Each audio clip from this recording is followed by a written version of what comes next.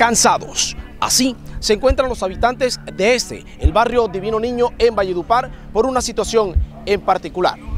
Escuche usted. Que nos estamos uniendo con aguas residuales de las alcantarillas. Muchas casas han sido afectadas. Tenemos contaminación, tenemos problemas de salubridad, tenemos proliferación de mosquitos. Esta es la vivienda de Milena Sáenz como ustedes pueden observar está totalmente inundada, pero no de aguas lluvias, sino de agua que emana de la alcantarilla, que a su vez va dejando excremento humano.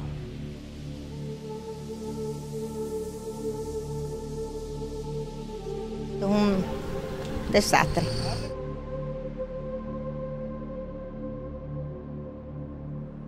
Cuando amas tu ciudad, lo primero que aspiras es que sea la mejor en todo sentido, que al transitar por sus calles sientas alegría, orgullo y ganas de invitar a que la visiten aquellos que están fuera de ella.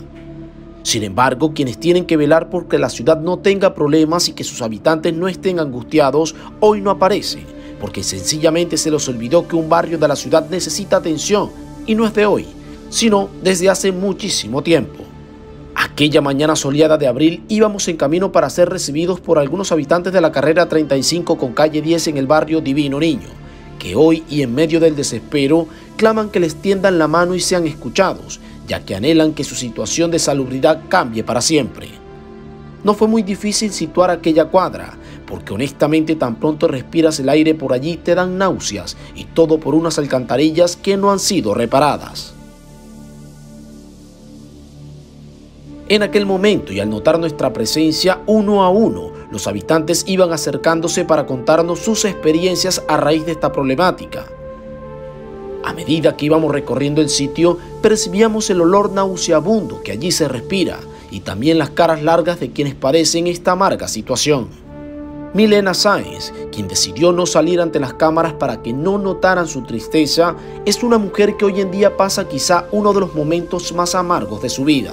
Esta es la vivienda de Milena Sáenz como ustedes pueden observar está totalmente inundada, pero no de aguas lluvias, sino de agua que emana de la alcantarilla, que a su vez va dejando excremento humano.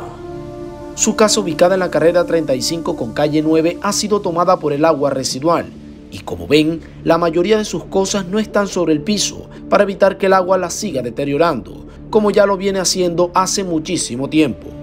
En ese recorrido por la vivienda nos topamos con heces fecales. Sí, así como lo oyen, excremento que tiene que salir por los sifones de las casas porque las alcantarillas están tapadas y con falta de mantenimiento. Y ni para qué decirles a qué huele eso.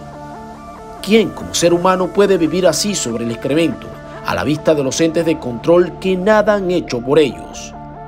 Hay que ponerse en los zapatos del otro y pensar, ¿Cómo dormir y descansar así?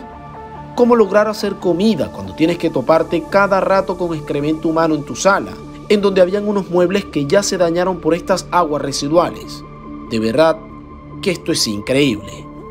Aquella mañana seguimos caminando junto al líder de la comunidad, encontrando muchas más historias, como la de Carlos Claro, y esta también es complicada, porque aquí está inmersa la salud, no solo la de él, sino la de un pequeño de 27 días de nacido que pasó una amarga situación al transitar por aquí, por esta calle llena de malos olores, de pudrición y de indolencia por parte de quienes deben velar por ellos. Tuve 15 días en la clínica porque la inundación que hubo de aguas residuales me afectó al niño con problemas respiratorios y me tocó de sacarlo. Ya eran dos historias tristes contadas por los habitantes de este lugar y seguir escuchando a muchos más de ellos, honestamente es algo que desgarra un poco el corazón, porque los días, meses y años avanzan y ellos siguen en medio de un desastre. Ah, cuando hay elecciones sí se acercan por aquí, nos prometen, pero después ya, todo pasa, todo queda tranquilo. Así que en realidad esto es un desastre.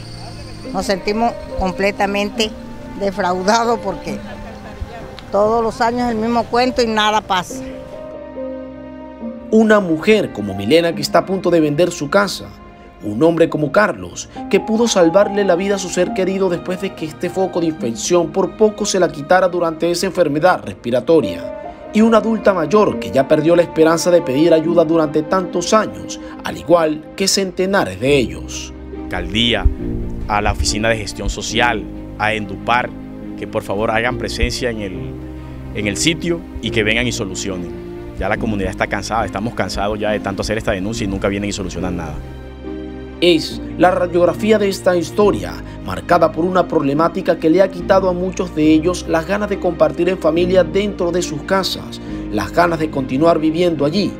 Casas que levantaron con mucho esfuerzo y que poco a poco las alcantarillas de las que emanan esas aguas residuales se va adueñando de ellas.